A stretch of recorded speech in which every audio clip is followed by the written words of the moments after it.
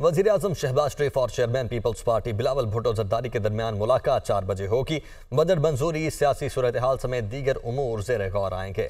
मुलाकात में peoples party की काबीना में शमूलियत का मामला भी जेर गौर आएगा। यासिर मलिक हमारे साथ मौजूद हैं। यासिर, चार बजे मुलाकात शेड्यूल है। यकीनी तौर पर बहुत अहम मुलाकात होने जा रही है।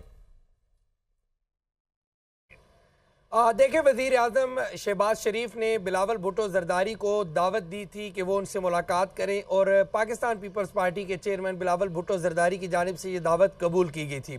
आज जो है वो दोनों रहनुमाओं के दरमियान एक अहम मुलाकात जो है वो होने जा रही है वज़ीर अजम हाउस में और ये मुलाकात जो है वो चार बजे होगी और इस मुलाकात में जो पीपल्स पार्टी के चेयरमैन हैं, बिलावल भुट्टो जरदारी, उनकी जानब से जो बजट को लेके जो तहफ़ात हैं, एक तो वो वज़ी अजम के सामने रखे जाएँगे। इसके साथ साथ जो पी एस डी पी में जो मुख्तलिफ़ प्रोग्राम हैं, जो जिन, जो शामिल नहीं किए गए उनके हवाले से आगाह किया जाएगा। और पंजाब के अंदर जो पाकिस्तान पीपल्स पार्टी है, उनके जो जनूबी पंजाब में अफसरान की तैनाती है, उनके हवाले से तबादला ख्याल किया जाएगा। इसके साथ साथ जो कमेटी पाकिस्तान पीपल्स पार्टी ने पंजाब के अंदर बनाई थी कि जो पंजाब हुकूमत के साथ मिल के तमाम तर जो मामलात हैं, उनको देखेगी। लेकिन जो उस कमेटी को भी पंजाब हुकूमत की जानब से कोई मौसर जवाब नहीं दिया गया। जो फिर कमेटी ने पीपल्स पार्टी की जो कमेटी थी, उसने chairman peoples party Bilawal Bhutto Zardari से शिकायत भी की।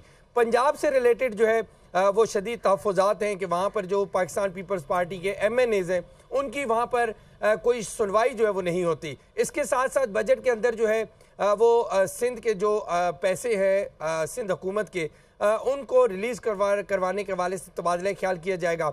और वफाकी काबीना में शामिल होने या ना होने का जो मामला है वो वज़ीर अजम चूँकि इससे पहले भी जितनी दफ़ा बिलावल भुटो जरदारी ने मुलाकात किया तो वो ये क्या अपनी ख्वाहिश का इजहार करते हैं कि आप आ, हमारे साथ हुकूमत में आ, शामिल हैं हमारे इतिहादी हैं तो वफाकी काबीना में भी आए।